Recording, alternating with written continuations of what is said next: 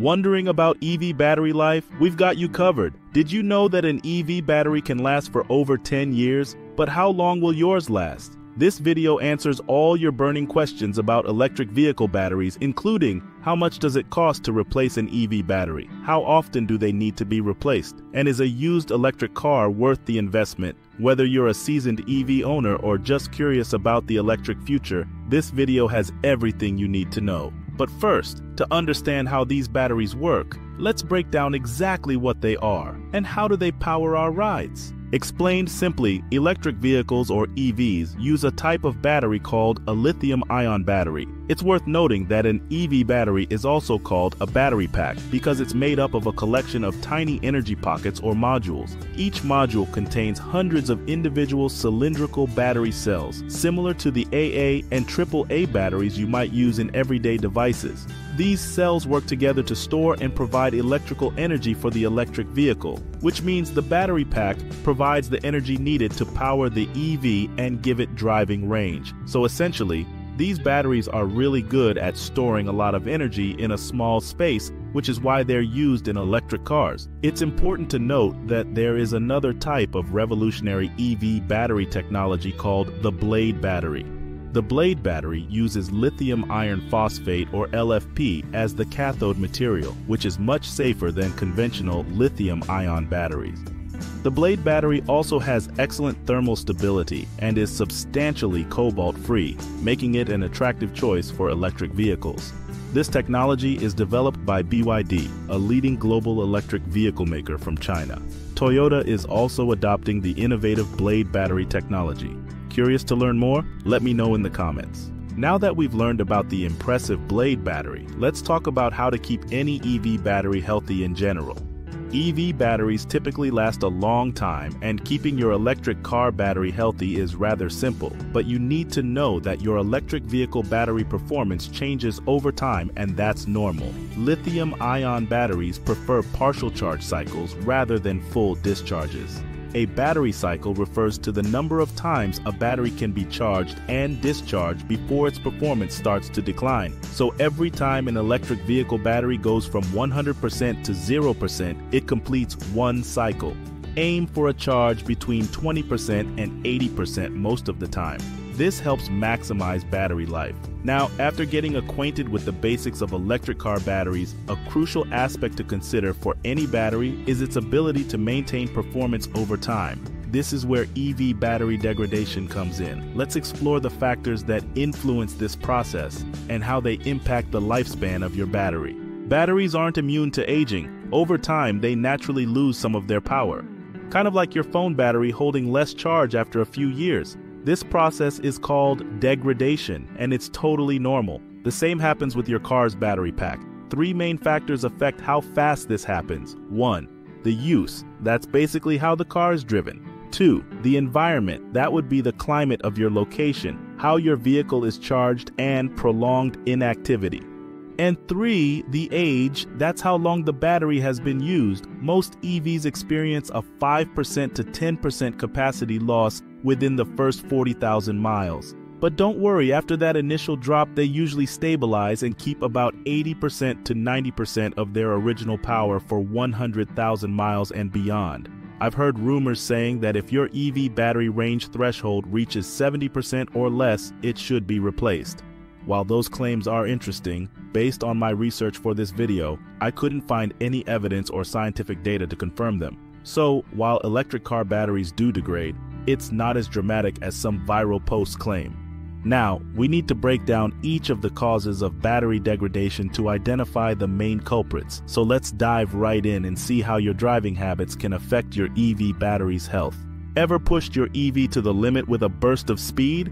While exhilarating, those moments can also put a dent in your battery range. After all, not all driving is created equal. Your driving style matters for EV range. That's the distance an electric vehicle can travel on a single charge. Cruising down the highway conserves battery life, but weaving through traffic and hitting the brakes often can quickly deplete your EV's range. Aggressive maneuvers like rapid acceleration and hard braking can drain your battery quicker. In this case, the solution is quite simple. Try to aim for a smoother driving style for optimal battery life. Just like filling up less often with gas, you can maximize the distance you travel on a charge by adjusting your driving habits. Consistent speeds and gentler braking help conserve energy, extending your range and keeping your battery happy. We've seen how your driving habits can impact battery health, but external factors also play a role. Let's see how your location's climate can affect your EV's battery life. From sunny California to chilly Quebec, North America serves up a buffet of climates. Scorching summers to frigid winters, extreme temperatures can shorten an EV battery's lifespan. Just like your smartphone struggles in extreme heat or cold, so too can electric vehicle batteries. The good news, most EVs are equipped with thermal management systems to regulate battery temperature. The Battery Thermal Management System, or BTMS, focuses specifically on managing the battery's temperature, not to be mistaken for the Battery Management System, or BMS, that monitors and controls the battery's state. The BTMS uses cooling and heating to make sure the battery doesn't get too hot or too cold.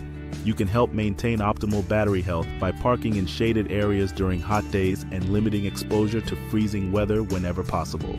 Let me know in the comments if you can relate to the EV lifestyle in extreme temperatures. Beyond the influence of your local climate, another factor to consider is how parking habits can impact battery life. What if you're going on vacation or just taking a break from your EV? Here's how to keep your battery healthy for long-term parking. Avoid leaving your car unused for over a month. If you really have to, try to park with a 50 to 75% charge. This reduces stress on the battery compared to a full or very low charge. Now, how does inactivity affect your battery? While parked, your battery will naturally lose a small amount of charge over time, which is normal. For secondhand electric car owners, keep in mind that older batteries have less capacity and may run out faster, so try to minimize inactivity periods to help maintain optimal battery health. We've unpacked the factors that can influence an EV battery's endurance. Now, let's put that knowledge to work and answer the million dollar question How long can you expect an EV battery to last? Well, that depends. Just like for your smartphone, your EV battery performs best when treated well. And just like your phone, over time, the battery's capacity, or how much energy it can hold, gradually decreases, which is totally normal. As mentioned earlier, some may degrade faster, especially if exposed to extreme temperatures or rapid charging. Most EV batteries last around 10 to 15 years before the degradation becomes an issue. To put that in context, the average car on American roads is 12 and a half years old, so don't worry, even after 10 years from the original purchase, the battery will still work. It just won't go as far on a single charge. One thing to keep an eye on is your warning lights. Your car's dashboard might show a warning light related to the battery. It's like a little red flag saying, hey, something's up. Next, let's talk about reduced range. If your car can suddenly go way less distance on a single charge than usual, it could be a battery issue, not just the battery getting older. To find out if there's a fix for your car, you can search online or ask your favorite AI assistant for any news or official notices from your car company. However, car makers themselves can sometimes find problems that could make the battery unsafe or not work as well.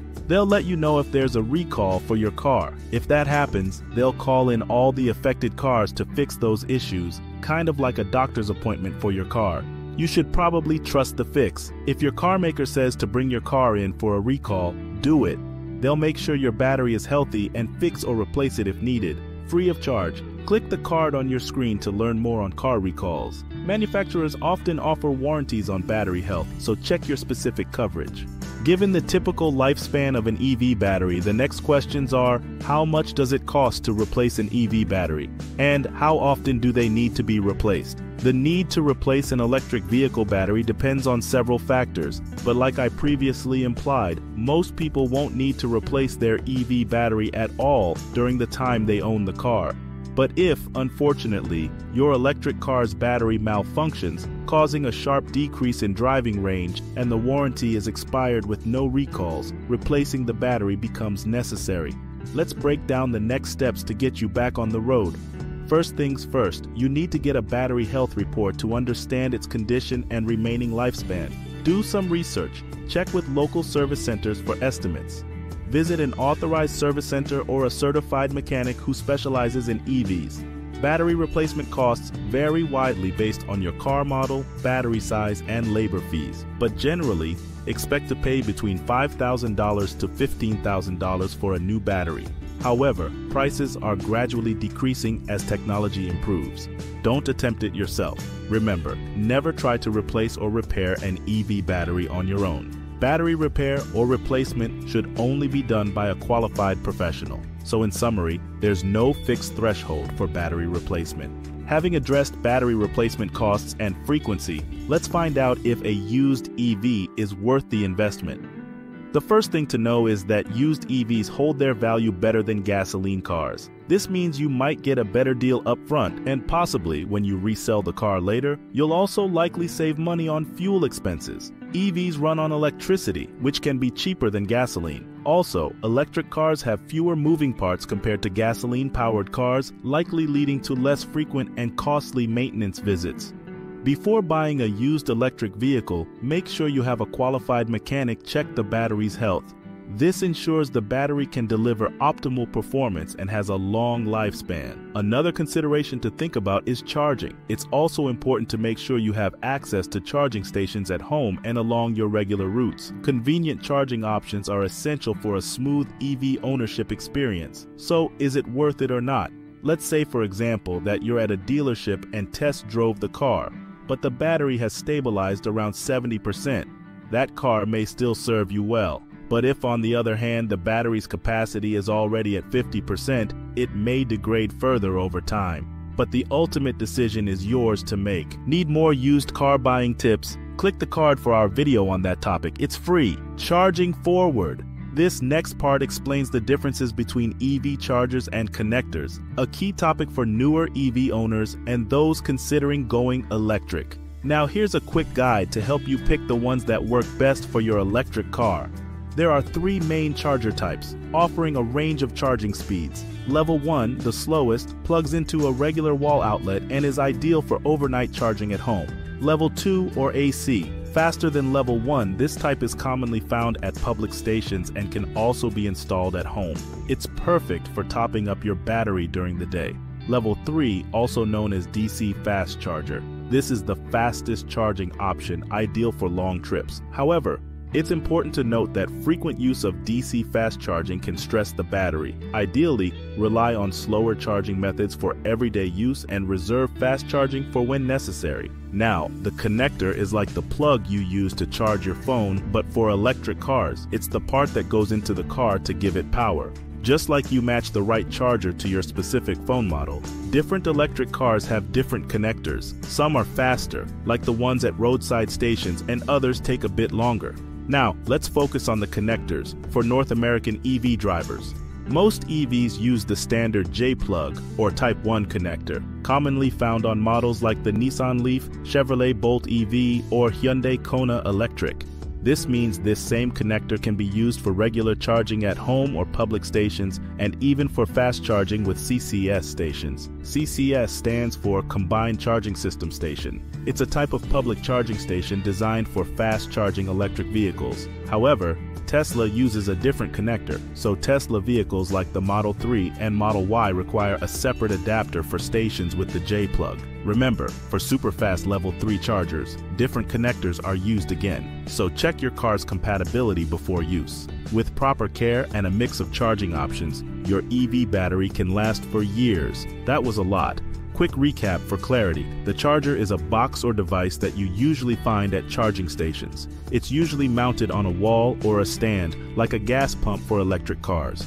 It's where the electricity comes from, while the connector is the actual plug that connects the charger to your car's charging port. Now that you understand the different charger types and connectors, this knowledge unlocks the secrets of your EV battery. But how far can an electric vehicle travel on a single charge? And what happens when your EV battery runs out on the road?